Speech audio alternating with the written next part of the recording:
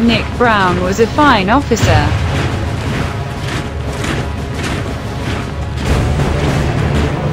He was entrusted to represent his army in the parade.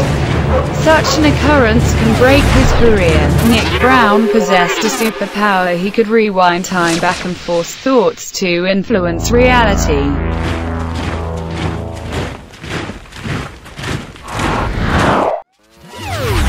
Now everything will be fine.